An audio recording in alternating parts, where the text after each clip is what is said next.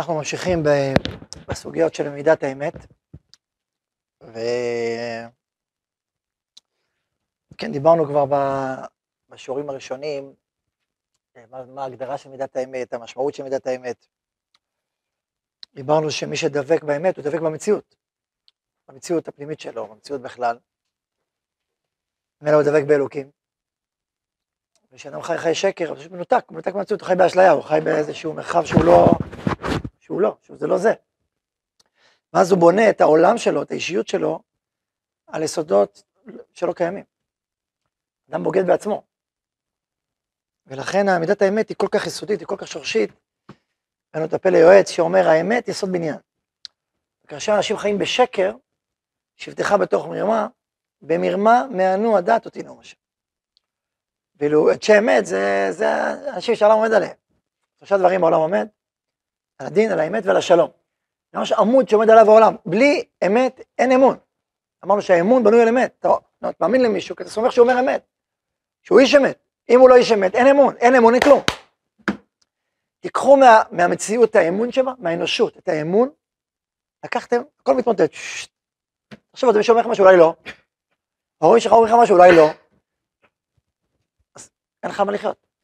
היסוד של החיים, לכן שאנשי אמנה, כתוב ש, שפסו אנשי אמנה זה, זה חורבן הבית. למה זה חורבן הבית? זה חורבן.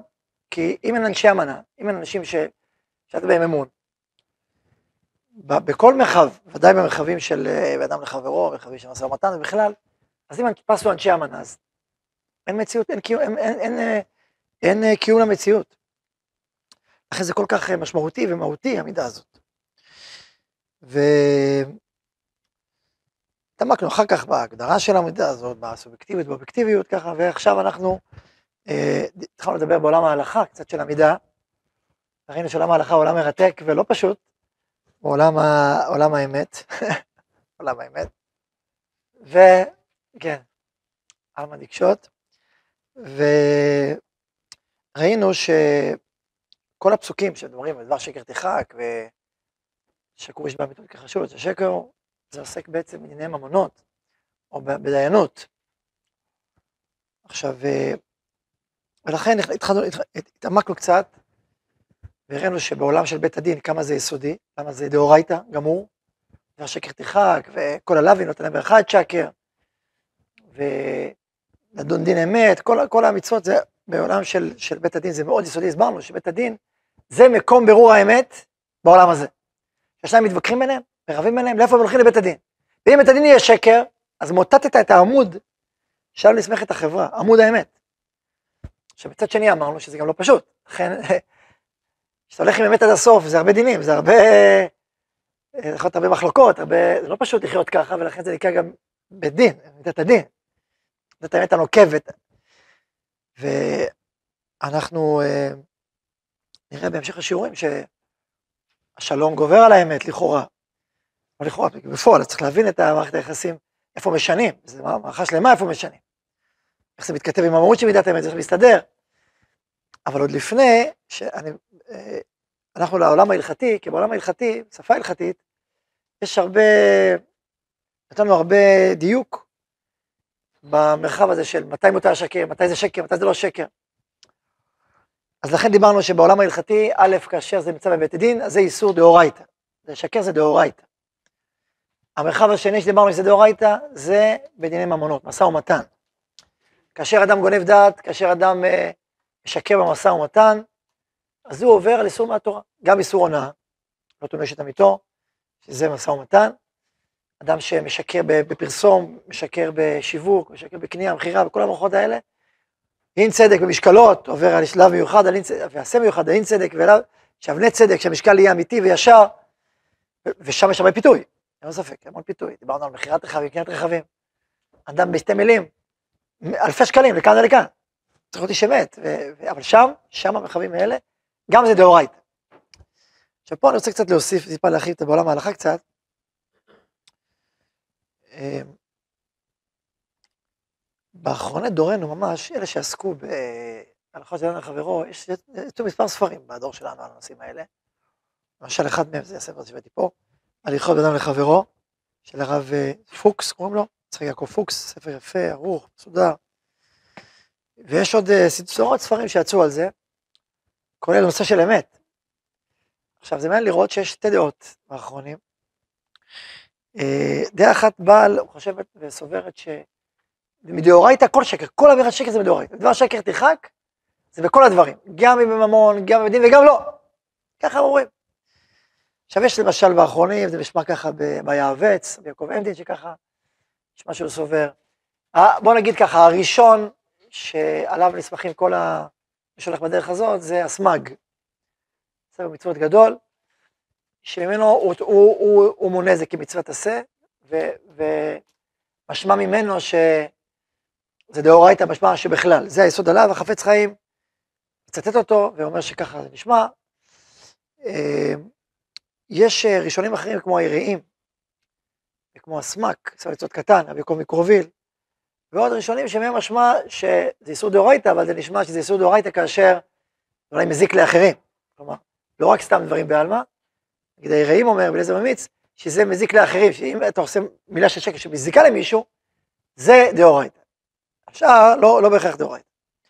על כל פנים, ישנם אחרונים שנקטו, אה, שזה בעצם דאורייתא בכל דבר. אני הקטן לא מסכים איתם, וחושב שאי אפשר ככה לפסוק הלכה, ו... לא יודע מקום המונח, כן, אבל אה, אני חושב שהעיקר כמו דת, למשל הרב פרלה, לא יודע אם שמעתם עליו, הרבה יוחד פרלה, הוא כתב אה, הערות על ספר מצוות של רס"ג, והערות מאוד למדניות, אתם יודעים מאוד גדול, רבי יורח חפי של פרלה, הוא מעריך בהוכחות שברור שזה רק בממונות או בבית דין ולא מעבר לזה. גם כך כתב ספר אורח מישרים, אה, ועוד, יש עדת האחרונים שככה סוברת. לא ידעתי ברמב"ם ברור שזה ככה, כלומר, זאת אומרת השאלה היא שכתוב השקר תכרה, כיוון שזה בא בתוך הקשר של משפטים של דינים, כמו חייבים להטות, יש מערכת שלמה של, שעוסק, בפרשת שעוסקת בעצם ב... בהלכות דיינים, אז לכן גם זה בהלכות דיינים. עכשיו רמב"ם מצטט את כל הגמרות בשבועות שהבאנו, שיעורים הקודמים, שעוסקים בדיינים, הוא את זה שם, ולא רק זה, הרמב"ם בספר המצוות, ולא תעשה, הוא מכניס דבר שקר תרחק כחלק ממצוות לדיינים. כמו לא תישא שם השווא, אל, תש, אל, תש, אל תשמע דברי בעל דין, כל השמע על חברו, הוא מכניס גם שם דבר שקר תרחק. ברמב"ם זה ברור שהוא סובר שזה, שזה זה רק בבית דין, בעולמות של בית דין. אמרנו, יש כאלה אומרים משא ומתן מעונות, מה? עכשיו, הקושייה העצומה, הקושייה העצומה שלא ראיתי על הפתרון ליישב את הדעת, על מי שאומר שזה דאורייתא, זה לא רק בגלל שלום, זה יש עשרה מקרים, יש עשרות מקרים ששינו. שלום ובושה וצניעות ו... וגאווה וענווה, יש הרבה דברים. אם זה דאורייתא, מה זה, כזה פשוט לשנות כפרות. יש לפחות עשרה דוגמאות. גם על בושה משנים, מה זה בושה, מה זה קשר בושה? למנוע מאיזושהי אפשרות ביסוד דרבנן. בשביל ענווה, תעבור ליסוד דאורייתא. קשה מאוד להסביר. אז כן, אנשים רצו להגיד, לא, המושג אמת ושקר זה מושג אחר לגמרי.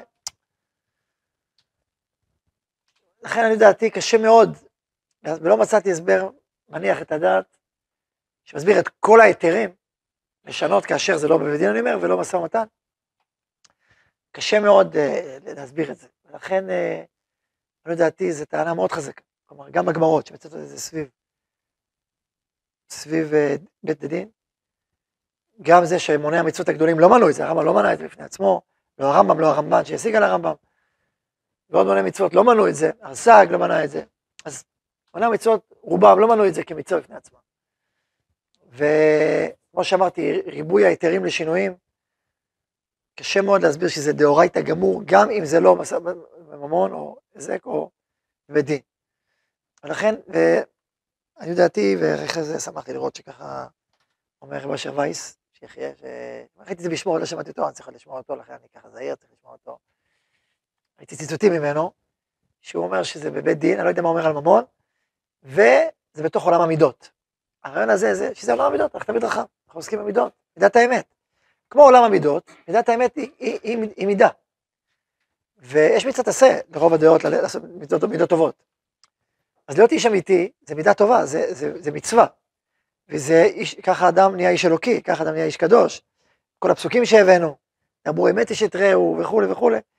אז להיות איש אמיתי זה יסודי וזה מהותי וזה יש לזה מקומות, מופעים, שזה דאורייתא גמור, אבל המופעים האחרים זה מידה טובה או רעה. עכשיו, יכול להיות שאם גורמים היזק, אז צריך להחמיר יותר כמובן, אבל בעולם שהוא לא ממונות ולא בדין, אז אפשר לקרוא לזה יסוד דה רבנן, אפשר לקרוא לזה מיד, מידה יסודית, מהמידות הטובות, ולכן בגלל זה יש הרבה כאילו היתרים לשנות, כמו חלק מעולם המידות, שזה מתנגש עם מידה אחרת, מה עושים, איך, איך מפלסים את הדרך.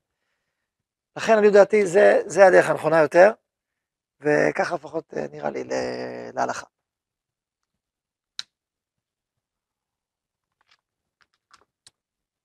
עכשיו, אה, אז בדרך הזאת אנחנו הולכים, ויש רצו להביא משולחן ערוך, הייתם מצטטים על שולחן ערוך, שאומר שאדם, אה, שאדם לא יגיד על מישהו שהוא נפטר. כי מוציא דיבה אוקסיל, ככה אומרת הגמרא בפסחים, וזהו, מוציא דיבה אוקסיל. אבל אם שאלו אותו בפירוש, שיגיד את האמת. למה? כי דבר שקר תרחק. אז יש כאלה שרצו לומר, שהנה, אתה רואה שהשולחן ערוך מצטט דבר שקר תרחק. גם לדבר שהוא לא נפקא מינה בממונות ולא נפקא מינה בבית דין, וזה דברים בעלמא, שולחן ערוך דבר שקר תרחק. רק לדעתי זה לא ראייה, כי אתה מצטט דבר שקר תרחק, זה חלק מהאמת שאדם צריך להגיד את האמת, חלק ממידת האמת, אל תשקר. זה לא אומר שזה הדאורייתא העיקורי המקורי, זה אמירה, תגיד אמת. רוצה לומר שהמוציא דיבה אוקסיל מול לומר את האמת, אמת גוברת. גם מוציא דיבה אוקסיל זה לא איסור גמור. אז למה כן אמר, הוא איסור גמור? לא, לא איסור גמור. זה מידה טובה, זה הנהגה נכונה, זה לא איסור גמור. איסור להגיד, לא אומרים, זה הנהגה טובה, זה מידה נכונה. שמידה נכונה זאת אומרת מול מידה אחרת שקראתי דבר שקר תרחק, ברור שזה זה גובר על זה. אבל מפה להוכיח שזה יסוד דאורייתא לפי השולחן ערוך, קשה מאוד להגיד, זה קשה לסמוך על, על הראייה הזאת. לא רואה בראייה, ראיתי, יש מתנצלת, השולחן ערוך, אה, השולחן ערוך שלא קרמב"ם, כן? זה לא, לא נראה לי, לא... שעושים, אני לא מסמך על עצמי, אנחנו גדולים וטובים, אבל העיקר כדבריהם אני יודעת. עכשיו, אה, אז ההבנה הזאת שבעצם יש למידת האמת מופעים של דאורייתא, ויש לה מסלול חיים, כי זה מה זה ללכת בדרכיו, זה מסלול חיים, מה מסלול חיים שלך? איך אתה חי? ככל שאדם יש יותר אמיתי, ויותר פנימי, יותר דבק באלוקים, אז אתה אדם גדול יותר, מתפתח יותר, נעלה יותר, ככל שפחות פחות. כתוב שמי שמחליף את דיבורו כמו שעובד עבודה זרה, הוא חי בשקר, אדם שחי בשקר. לחיות בשקר זה ניתוק, לחיות בניתוק. אז לכן, כמו כל מידה, זה דרך חיים. שאתה הולך ומתפתח בה יותר ויותר, וצומח בה, ועוד, עוד, כמו שהעולם כולו הולך ונהיה יותר אמיתי. המציאות היא יותר אמיתית, דיברנו על עולם המדע, דיברנו על הרבה דברים. איך אתה הולך, זה... אז ככל שהאמת הולכת וצומחת ומתפתחת ומרץ יצמח, ככה המציאות הולכת ומתעלה בעולם הזה של האמת.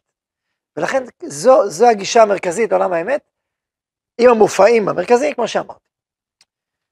אז, אז היום רציתי קצת להתייחס לתרגומים מעשיים בעולם ההלכה במשא ומתן. כמה מילים על זה. אה, אז להביא דוגמאות אה, שכיחות, יומיומיות, שבהן יש הלכות, כי זה בתחום, זה הלכות ברורות, חושב משפט, דברים ברורים, שבהם היושר והאמת צריכים לבוא לידי ביטוי הלכתי מובהק. שפה אתה לא יודע, פה יש גם ניסיון לאדם, אבל גם הלכה. ההלכה עוזרת לך פה, שאומרת לך מוסור ומוצר. עכשיו, כשאדם לא יודע, שישאל דיין. או אדם שבקיא בהלכות אמת ושקר. אבל זה, זה, יש בזה חלקים ממש שעוסקים ממש במדינים המונות.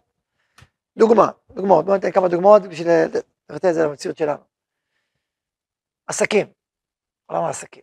אם אדם אה, החליט לקנות איזה, מקור, לקנות חפץ, או דבר, או חוזה, ברגע שהוא אמר, סגר, סגר עסקה, אמר, זהו, אני קונה את הדירה הזאת. החלטנו, החלטנו, סגור, קנינו. האם יכול לחזור בו? או זה פגיעה במידת האמת? מה אתם אומרים? זהו, פתאום מישהו יוצא להצעה יותר טובה, יאללה. הוא החליט שלא בא לו, אתה מה, לא בא לי. אבל סגרנו, זה חס לא בא לי. לחיצת יד יש מה לדון אם זה כמו, כמו סיטומטה, אם זה מוגדר בעולם המשחק כסגירת, אה, כקניין, זה כבר, זה כבר עניין אחר. אבל לא מדבר שהוא עשה מעשה עסקי מובהק, אלא מילתן מילה. האם אני אומר מילה זו מילה, לא?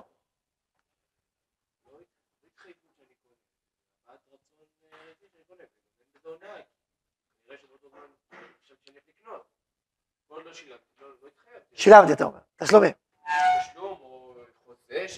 חתום.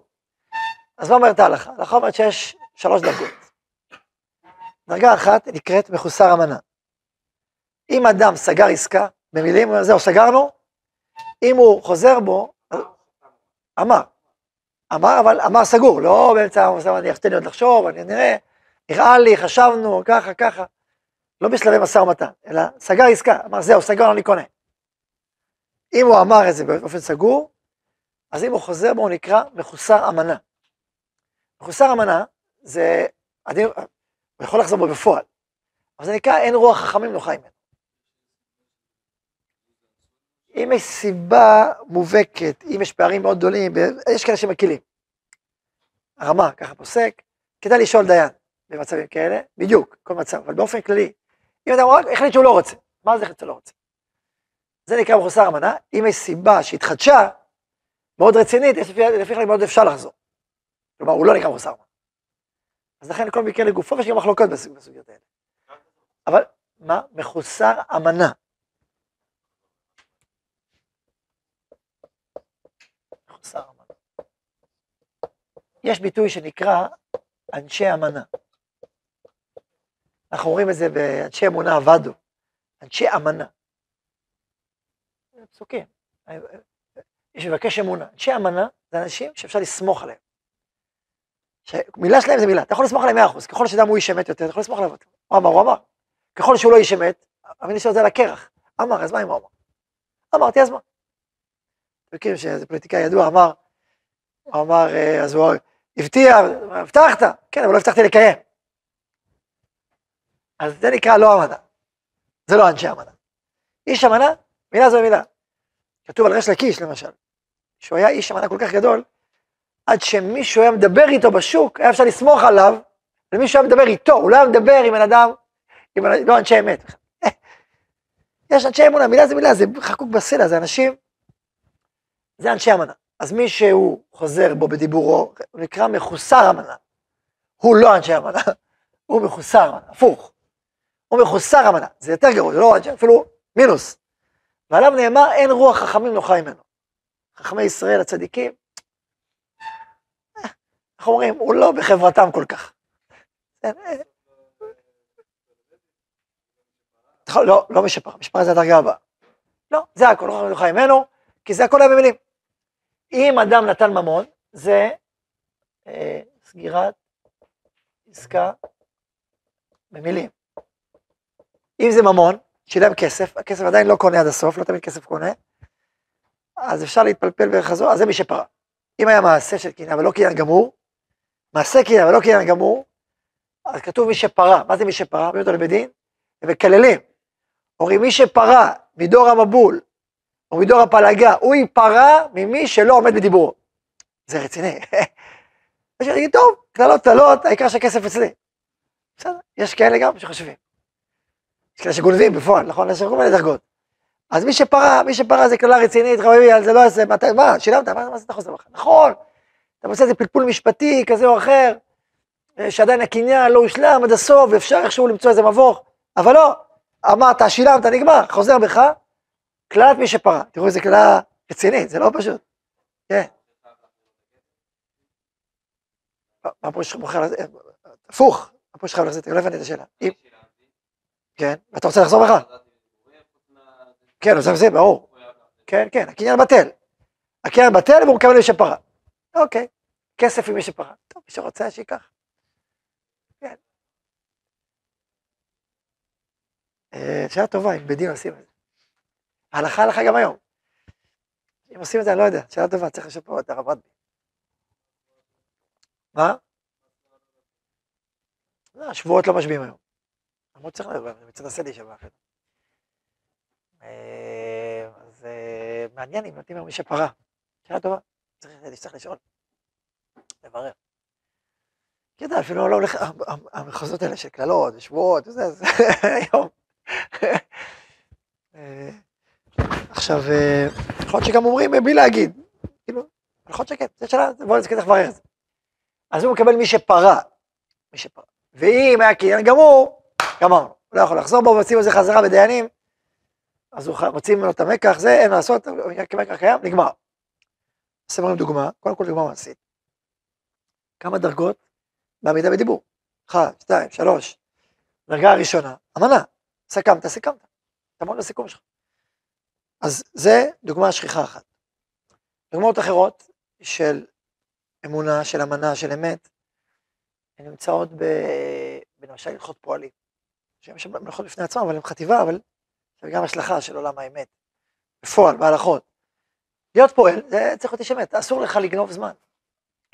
אתה יש כאלה מתבטלים חצי שעה, אתה זה חצי שעה, שעה, פועל הוא גונב זמן. זה, זה איסור גמור.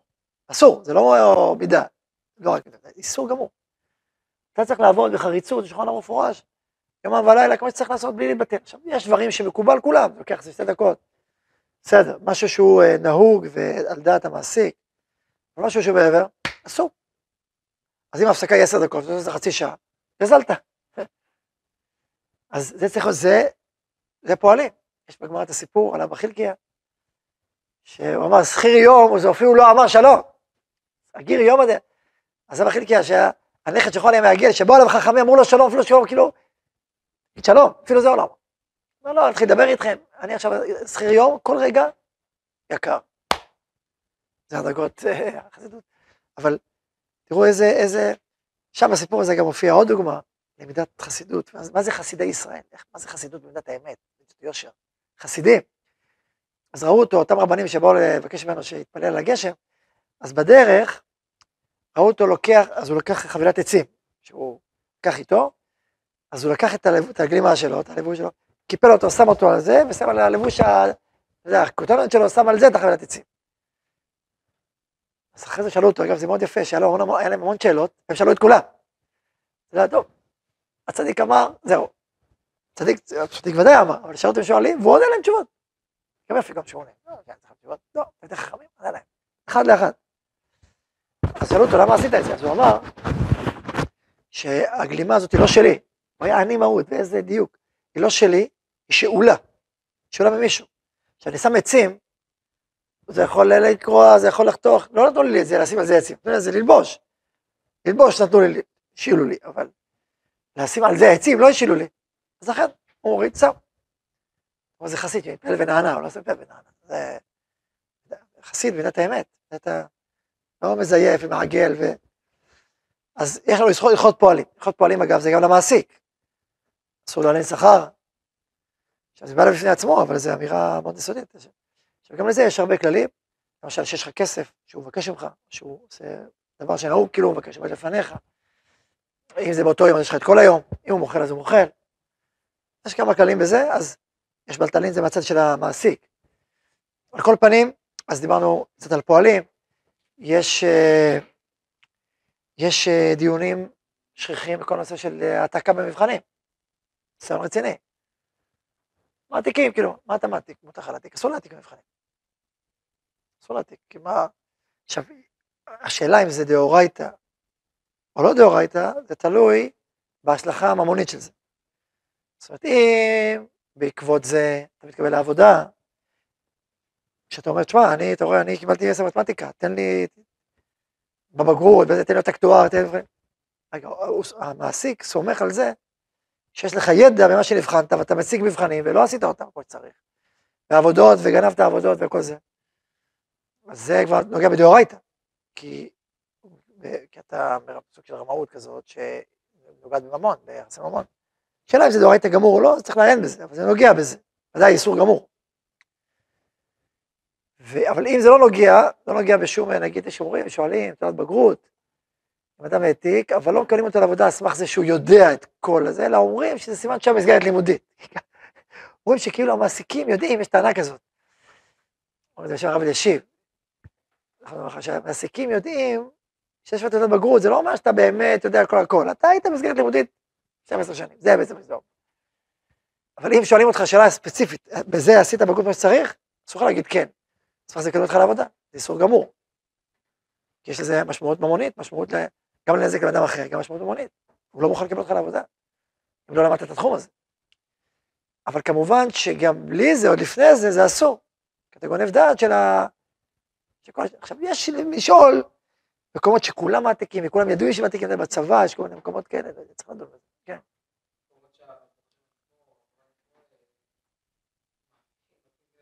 שאלה, שאלה גדולה, זו שאלה גדולה, כי הבוחן עצמו, הוא, הוא, הוא, אם הוא המורה, יש לו אינטרס גם שתעבור. אז הוא לא שונה כל כך, זה, הוא גונב, גם התלמיד, גם המורה גונב דעת של, ה, של הבוחן, של התעודה. לפני עיוור זה כאילו. תלמיד זה לפני עיוור גם. כן, אז הבוחן לא... מה, אני אגיד לך לא, כאילו. אה? חשבתי מה צריך לעשות, או כמה זה קשה. קשה, זה קשה מאוד. מה צריך לעשות? צריך להגיד לאדוני המורה, אני לא רוצה. אני שמת.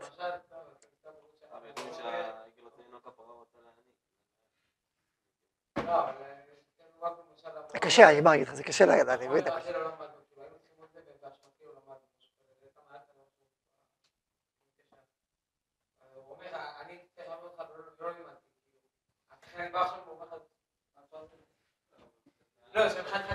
כן, כן, כן, אני חושב, אני חושב על זה.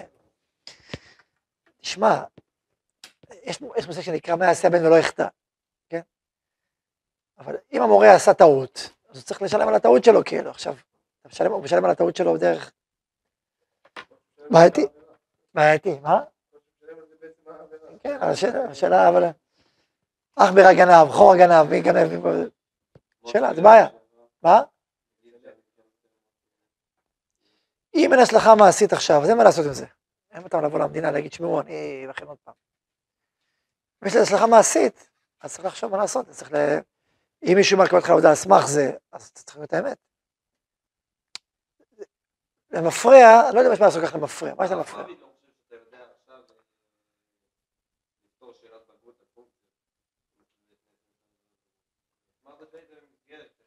אז אם זה ככה, אם זה ככה, זה בסדר, יותר. אם, אם, אם אתה אומר שהמעסיק לא סומך על זה, הוא לא אומר, אוקיי.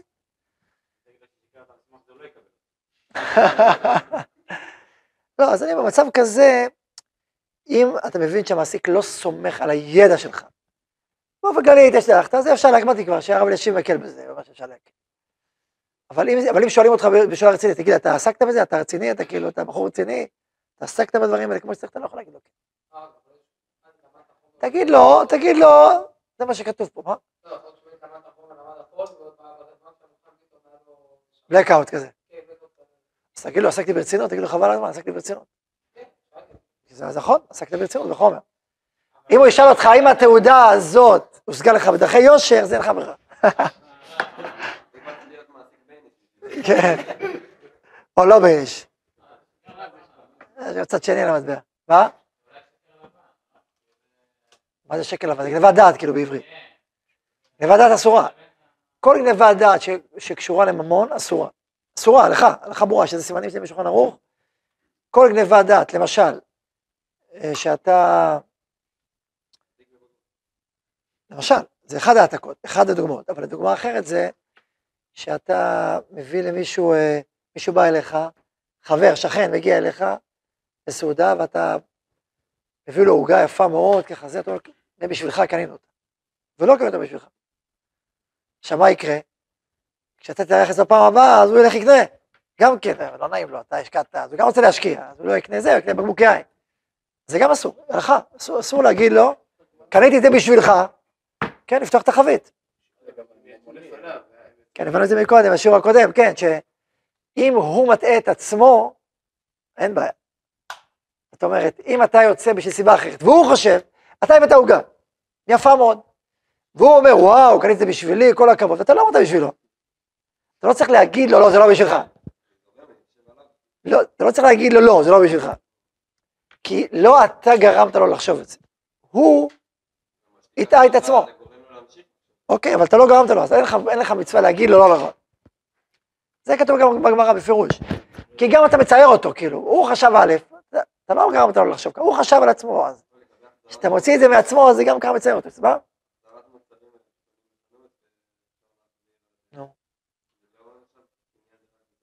לא, זה בהגדרה לכולם, שאפשר להחזיר, אז הוא יודע, זה על דעת זה אתה קונה.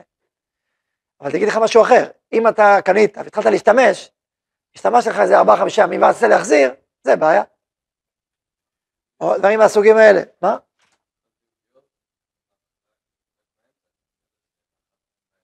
אז מה אתה עושה?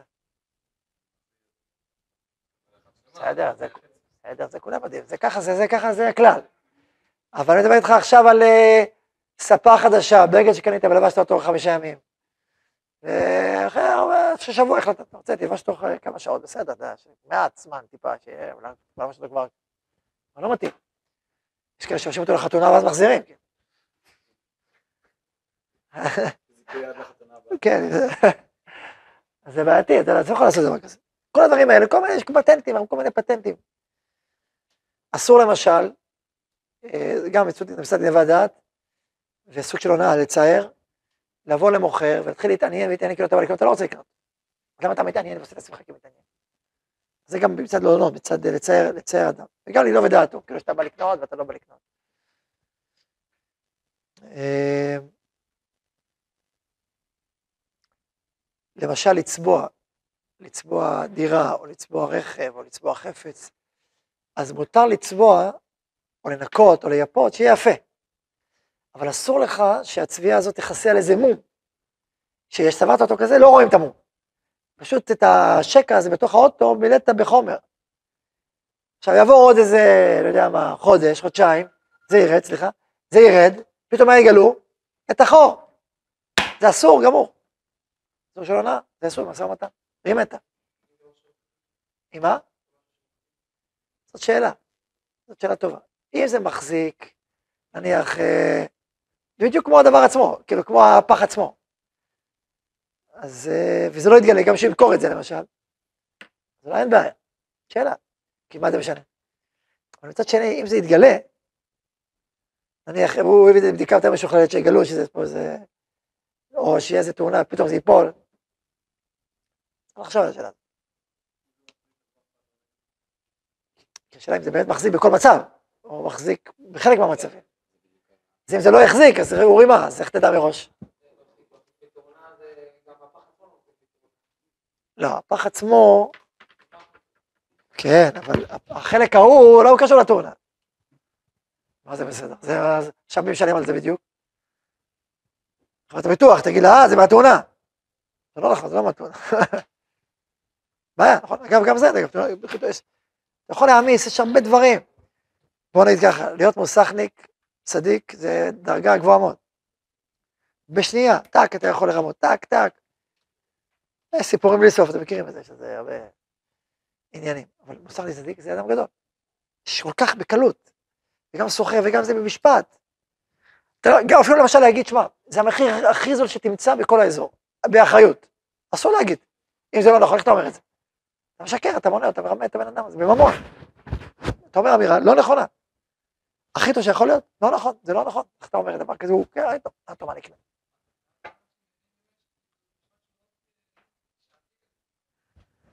אתה יכול להגיד, שמע, כולם אומרים, זה לא חידוש. לא יודע, אם, אם, אז למה הוא כן אומר את זה בסוף? אם זה לא מועיל, למה הוא אומר? הרגשה טובה.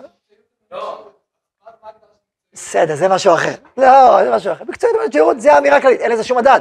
פה אתה אומר, הכי זול, הכי זול, הכי זול בכל ה... זה לא נכון. עכשיו, קודם כל זה, זה משפיע על תמימים. וגם על אנשים לא תמימים, זה משפיע עליהם גם. כי הוא עכשיו בא, יבדוק, הוא בדק במכונות אחת, הוא ראה איזה יותר, זה, הוא אומר, טוב, יכולת אחת ככה, והוא אומר ככה, אחרי זה להצטרוף. אה, אתה כאילו, זה משפיע עליך. זה משפיע עליך, מה?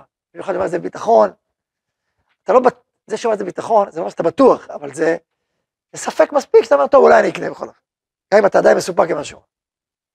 אז זה כן משפיע עליך, אז מי אמר, מי תיכה להגיד את זה? אסור לך להגיד את זה, מה? אז מה, שולחן מוניות זה איסור גמור. אם זה לא, אם אין לזה שום השלכה ממונית, אז זה נכנס בעולם של המידות. ואז יש, יש, יש לפעמים זמנים שיש מותר לעשות שינויים. אבל, אבל מסיבות מסוימות, לא סתם, אסור גם לעשות שינויים, סתם. וזה בשיעורים הבאים אנחנו נלמד על השני ונתעמק בזה. אז באופן יסודי אסור, ואת האמת, מה זאת אומרת, אבל יש דברים, שלום, בושה, יש רשימת דברים שנראה, ואז אנחנו נראה איך מידת האמת מתכתבת עם המציאות, ואיך היא, אה, כתוב שרצו לברוא את העולם בדת האמת, והיא אמרה, אל יברא שכולם מלא שקרים. אז הוא נתן את זה ארצה, ואז היא צומחת. כלומר, ללכת בדת האמת המוחלטת, זה בעולם העניין. זה עולם האמת, זה לא העולם שלנו. מצד שני, להגיד, טוב, אז אין אמת, אז מה, אנחנו צומח, צומח וצומח. עכשיו, נקרא לזה הצמיחה הטבעית הנכונה של מידת האמת בעולם, היא מתכתבת עם המציאות. ולכן כאשר אין ממון ואין דינים ואין, ויש ערכים אחרים, זה חלק מאותה התכתבות. כלומר, הסתירה בין הערכים היא בעולם שהוא חלקי, בעולם שלנו. ככל שמתקדמים, אז הסתירה הזאת מתיישבת ומת, ומתחברת, לא צריך את זה. לא, אין פער, לא, לא יהיה פערים. אנחנו, האמת, זה כמו להגיד למישהו שהוא, אנשים ברמה גבוהה יכולים להגיד אמת, ואז אנשים מתחברים איתם עם האמת שבהם. יותר נמוכה זה כאילו חץ, ברמה גבוהה אומר את האמת ומתחברים. איך? כי זה רמה גבוהה יותר. ככל שרמת המציאות גבוהה יותר, לא, הפערים פחות גדולים, וממילא גם הערכים האחרים מתכתבים. ככל שרמת פחות נמוכה, אז יש פה עכשיו בינתיים פער, אז האמת, האמת ממתינה בשביל לצמוח עוד. ככה אני מסביר הסבר אחד, נסביר מתי מסבירים נוספים בהמשך. אז לכן, מערכת השינויים שמותר לשנות, זה סביב הדברים האלה. שיש ערכים אחרים. תמיד זה מול ערך אחר, זה לא סתם, אין לשנות סתם. סתם זה מידת האמת. אבל אם יש ערך אחר שנפגע, וערך האמת, ואז דנים על המפגש הזה ביניהם. מה קורה בקונפליקטים. וזה נעסוק בשיעורים הבאים. אז עסקנו בבית הדין ובמעונות, וברוכים תהיו, חזקו ואמצו.